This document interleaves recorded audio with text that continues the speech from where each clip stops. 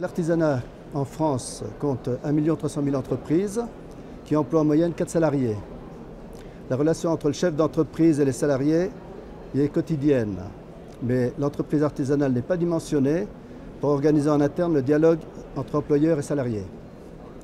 Voilà.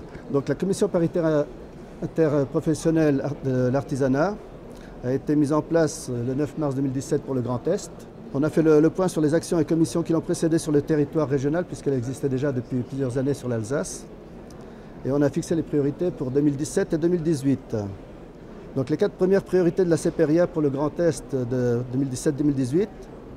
Donc on veut veiller à être un outil de proximité pour les entreprises et les salariés de l'artisanat, mettre en place la nouvelle mission de prévention des conflits, agir pour l'emploi des jeunes et la visibilité en indiquant l'attractivité des métiers de l'artisanat et développer l'accès aux activités sociales, culturelles, sportives pour les chefs d'entreprise et les salariés de l'artisanat.